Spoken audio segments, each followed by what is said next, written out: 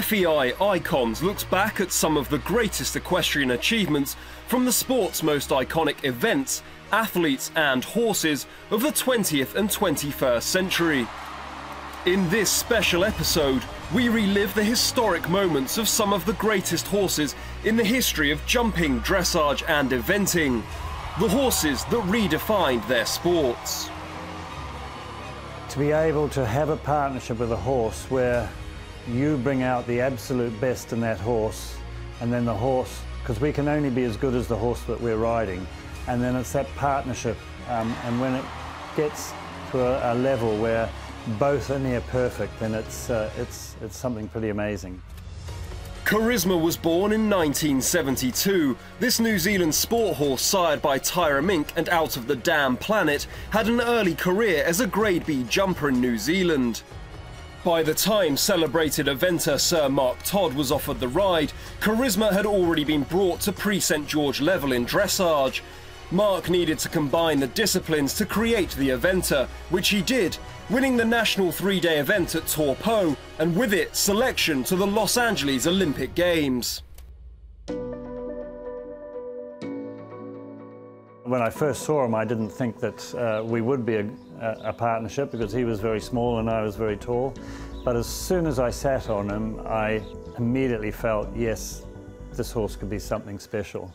And, you know, we had a great partnership over, over a fairly long time and uh, with, with good results. Charisma had a prolific international event record, winning the British Open twice, two seconds at Badminton and a second at Burghley, along with several wins across Europe. But this little horse will be remembered for his Olympic success, becoming a national hero after he won two consecutive gold medals in three-day events at the 1984 Los Angeles and 1988 Seoul Olympics. I've been fortunate that I've had a couple of personal best moments at the Olympics. Uh, obviously my first Olympics in 84 in LA, you go there hoping that you'll go well, but to come away with the gold medal was, uh, you know, a bit of a surprise and, and a huge, uh, huge honour really. And, uh, and then to go back four years later in Seoul with the same horse and win again was, was very, very special. And uh, that's something that's only ever been done once before, and that was back in, I think, 28 and 32, so two very special Olympic memories. Charisma was officially retired at 16 and was flown back to New Zealand where he completed a gold medal tour of the country and then spent his retirement on Mark's Rivermont farm in Cambridge in the UK. The world of jumping had never seen such a horse with pop star status, the crowd's favourite, the grey gelding that would inspire a generation. Foaled in 1977, Milton was by Dutch warmblood Marius out of Irish draft Aston Answers. His lines included successful sport horses in both paternal and maternal lines, his sire being an international level and his dam a grade A national level jumper. When Milton was young, Caroline Bradley, who had ridden Marius to international success, told her parents he would be her Olympic mount. She trained him until her untimely death in 1983, after which many offers were made to her parents to buy the gelding, who had already proven his talent. They kept the horse. For a short time, Milton was ridden by Stephen Hadley, before he became a mount of the world-renowned international rider John Whitaker. Milton entered international competition in 1985. And during his competitive career, Milton achieved many international victories and became the first horse outside the racing world to win more than £1 million in prize money.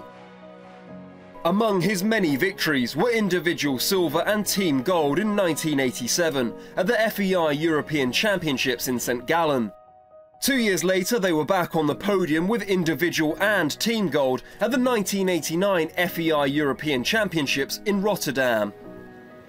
Their first FEI World Cup final win came in 1990 in Dortmund. That same year, they won an individual silver and team bronze at the FEI World Equestrian Games in Stockholm. Throughout his career, Milton rarely touched a rail or refused a fence. The grey gelding was a favourite with the crowd, as seen in their second FEI World Cup final win in Gothenburg 1991.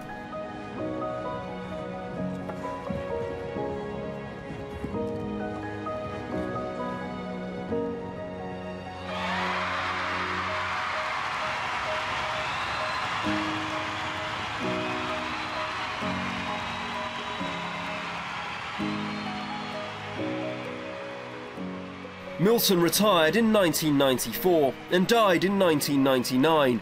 He was buried at home on the Whitakers farm in Yorkshire. Milton and John's partnership was truly remarkable. The Grey Gelding was a horse of a lifetime and possibly the greatest jumper of all time.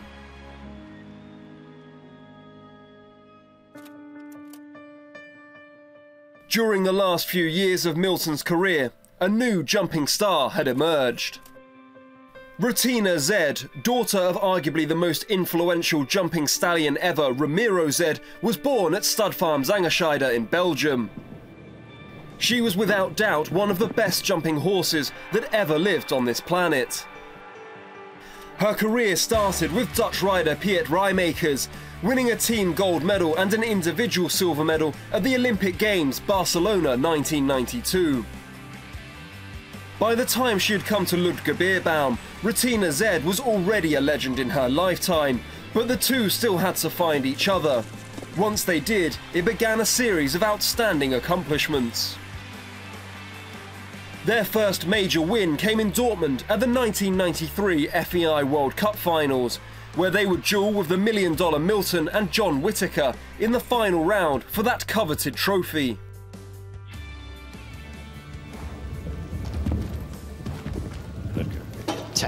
Double. Getting a good little snatch there in between. And that clear round then, the whole ball game changed. Pressure firmly back on John Whitaker and Everest Milton. The margin between the two of them just over one fence. 5.5 penalties. But it was here the drama was to unfold because they still had 1.5 in hand. They could in fact have got away with that and won. But Milton completely now lost his style and rhythm. This occasion, it's Ratina Zed that just comes out the winner. So Ludger Beerbaum, the Olympic champion, is the new Volvo World Cup champion. Only the third European rider to win it since 1979 making five European wins, and that's including John Whitaker's double in 90 and 91. The success that followed for the incredible partnership defined the decade in the sport of jumping. Team Gold at the FEI World Equestrian Games in 94, Team Gold at the Summer Olympic Games Atlanta 96. Then in 1997, they produced a stunning performance on home soil at the FEI European Championships in Mannheim, Germany, where they were crowned individual and team champions.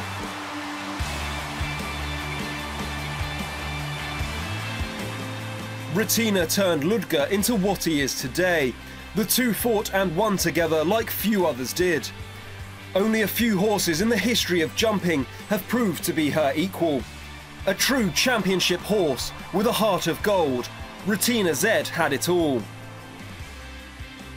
Ratina Zed passed away in 2010, but her incredible breeding pedigree continues to this day at the stud farm Zangerscheide by her clones Ratina Alpha Z and Ratina Gamma Z.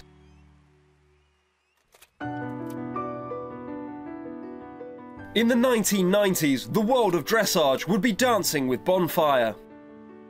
Born in 1983, the Bay Oldenburg gelding Gestion Bonfire was bred by Carl Bernd Westerholt. His sire was Welt As, and his dam was Vereen. He came to legendary Dutch rider Anky van Grunsven at two and a half, and by the time he was seven years old, he was competing at Grand Prix level.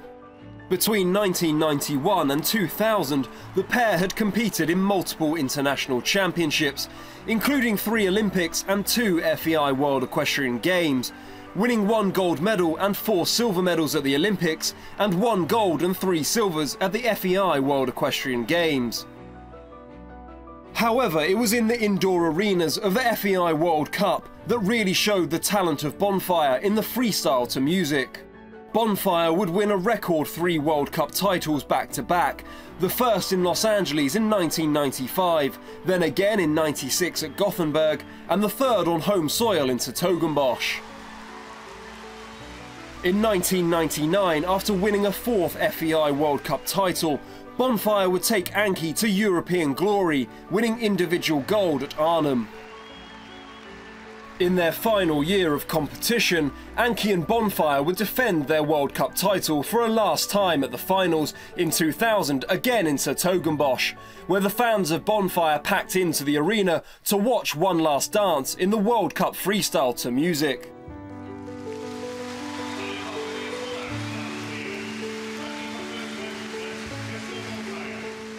The following summer, Bonfire and Anky would travel to Sydney for the Olympic Games 2000, the pinnacle of their sport, and they won the individual gold and crowning off the most incredible career.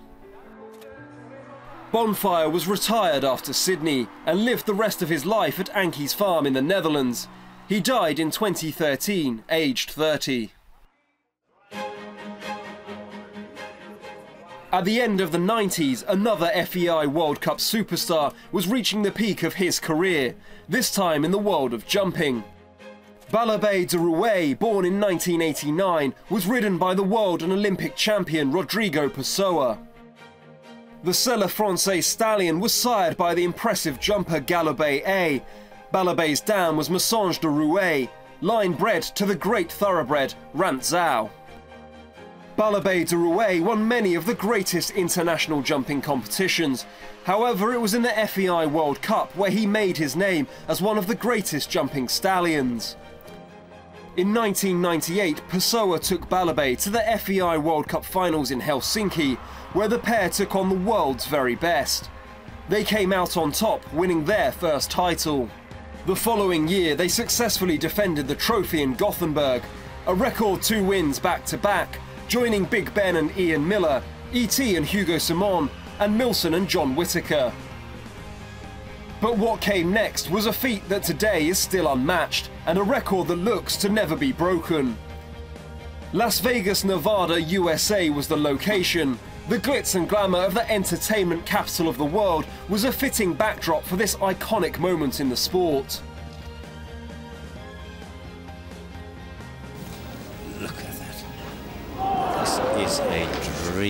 Horse, isn't it? As the uh, French Breeding Society, the Selle Francais, can be very proud of this stallion. He's by another great uh, World Cup horse called uh.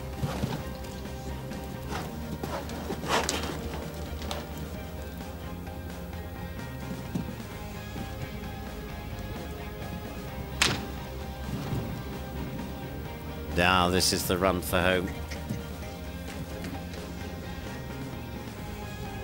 Is this going to be it? Rodrigo Pessoa for Brazil and Baloubet de. They've got it. They've got it. The first time ever, three consecutive wins in the World Cup. Rodrigo Pessoa of Brazil, 27 years old. And this wonderful 11-year-old French-bred stallion, his partner Baloubet de. Having won the FEI World Cup a record three times back-to-back, -back, the following year they had the chance of a fourth title in Gothenburg, but they would have to settle for second place when beaten by the in-form Tinka's Boy and Markus Fuchs in a jump-off for the title. Baloubet and Rodrigo would compete at two Olympic Games, winning team bronze for Brazil in 2000 and claiming their individual gold in Athens in 2004. Baloubet was retired from competition in 2006 and from breeding in 2010, living in Portugal during his later years. He died on August 7, 2017. But his offspring continued. Shaman, Video Boobaloo, Napoli Durai and Palabé de Halong to name but a few.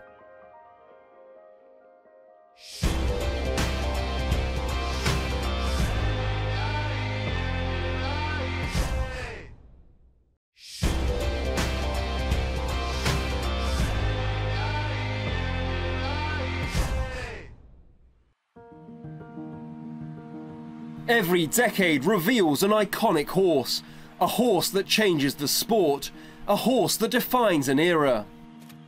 In the time of dressage legend Bonfire and the superstar jumper Baloubet du Rouet, there was also the eventer Rocky.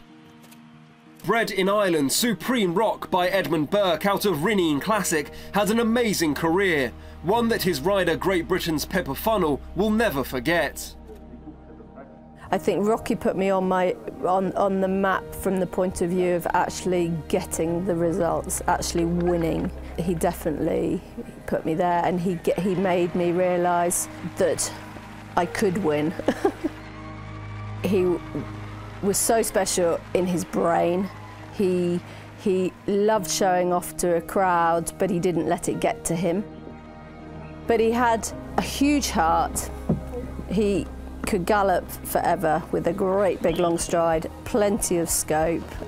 But I think he, I think he, he definitely probably gave me the real taste of, of the big time and love, love another one like him. With a record two consecutive individual and team European titles, and an Olympic team silver in Sydney, and an FEI World Equestrian Games team bronze in Jerez 2002, Supreme Rock and Pippa were at the top of their game. Supreme Rock would go on to win at badminton in 2002 and 2003, taking Pippa to world number one, and during his 10 years of competing, won £89,095 in prize money, the highest for any eventer at the time. He retired in 2005 and lived till he was 25. The world of dressage had not seen such a horse. Foaled in 2000, Totilas, a Dutch warm-blood stallion, was famously ridden by Dutch dressage rider Edward Gal, and together they would change the sport forever. Bursting onto the international scene in July 2009 at the World Dressage Masters at Hickstead, they broke the long-standing record of Anky van Grunsven with a score of 89.40%. That same summer at the FEI European Championships in Windsor, they broke their own world record, winning individual gold with a score of 90.70%. With the mythical 90% barrier broken, dressage had entered into a new era. In December 2009, at the fourth leg of the 0910 FEI World Cup Dressage Series at Olympia in London, they extended their record in Grand Prix freestyle to 92.30%. They went on to win that season's FEI World Cup final at home in the Netherlands.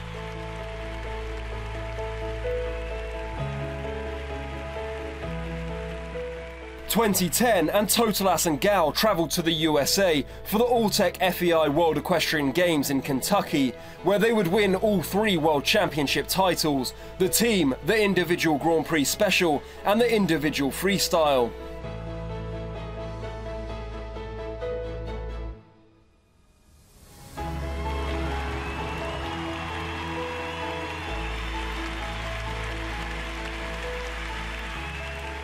There is no doubt that Totilas changed the world of dressage. The stallion set record after record in quick-fire succession. Within the space of only two years, this exceptional stallion had won all the titles there were to win in that period.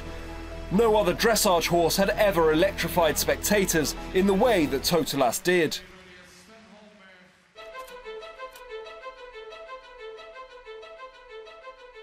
In the same era as Totilas, the sport of eventing had a new star. La Biothetique Sam FBW by thoroughbred sire Stan the Man and Dam Haller had a breathtaking competition record with his longtime rider, Germany's Michael Jung. As a six and seven year old, he won back to back silver medals at the World Championship for Young Horses in Le Lion d'Angers.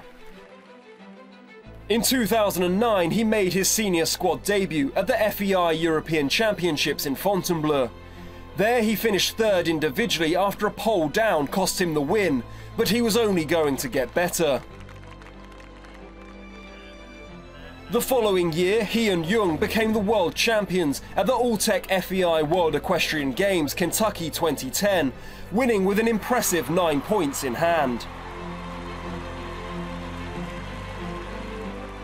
In the four years that followed, Sam never finished outside of the top three in his 17 international runs.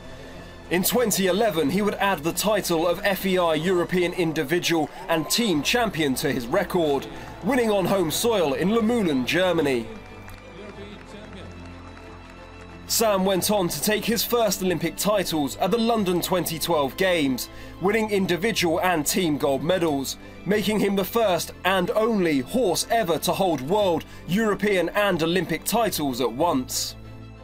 In 2016, after winning the illustrious badminton horse trials title, his third five-star win, Sam was drafted to the German team once again for the Olympic Games in Rio after Jung's first choice mount, Fischer Takinou, was sidelined with an injury. Once again, Sam finished on his dressage score, successfully defending his Olympic title, only the third combination to win back-to-back eventing Olympic gold, along with Charles Pahud de Mortanges and Sir Mark Todd. Sam was retired from championships after Rio and from competition in 2018. He resides on Michael's farm to this day. La Biothetique Sam FBW is undoubtedly the greatest event horse of a generation, and possibly the greatest horse ever.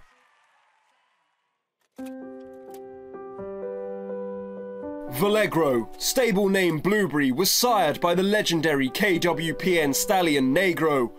Owned by Carl Hester and Roly Luard, Blueberry was offered to Carl's groom Charlotte Dujardin to develop the novice Dutch Warmblood with the intention of Carl riding the horse in competition, but the pair soon bonded.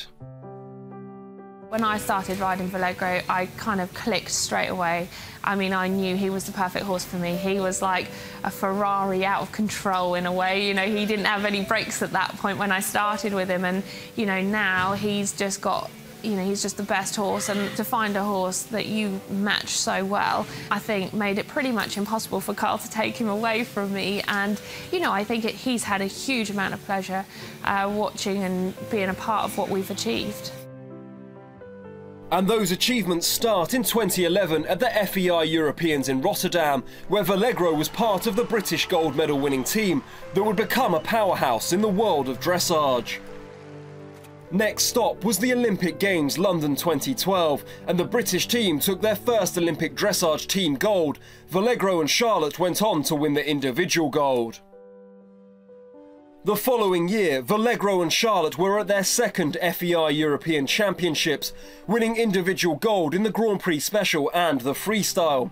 Each victory, they were edging ever closer to Totilas's record freestyle score. In 2014, Valegro won his first indoor championship, the FEI World Cup final in Lyon, setting a new finals record, but still shy of Totilas's 92.3. That summer was the Alltech FEI World Equestrian Games in Normandy. Valegro and Dujardin were the favourites, and again they were untouchable. Gold medals in the Grand Prix Special and the Freestyle. In the winter of 2014, Valegro was back at the familiar surroundings of the FEI World Cup leg at London Olympia. Like Totilas four years earlier, Dujardin and Valegro set a new world record, achieving an incredible score of 94.3%. In 2015, the pair travelled to Las Vegas, winning their second title and setting a new finals freestyle record of 94.196%, a record to this day that remains unbroken. With more European glory in 2015 and a successful defence of their Olympic individual title in Rio 2016, everything that Valegro and Charlotte touched turned to gold. He's won there everything there is to win. He's achieved so much. We've done it together, um, and I don't, you know, for me as a rider, it's not about being greedy and pushing for more. He's done what he's done, and I think now is the time to finish. With 52 international victories at Grand Prix level between 2011 and 2016, the world record holder in the Grand Prix, Grand Prix Special and Grand Prix Freestyle, double European champion, world champion and double Olympic champion, along with two World Cup final titles. It's fair to say that Valegro is one of the most successful dressage horses of all time. On the 14th of December 2016, Valegro and Charlotte Dujardin marked his retirement from competition with a performance given at the London International Horse Show 2016. There was not a dry eye in the house. Join us again soon when we will be reliving more iconic moments from some of the most epic FEI Nations Cup jumping wins. From all of the team, it's goodbye for now.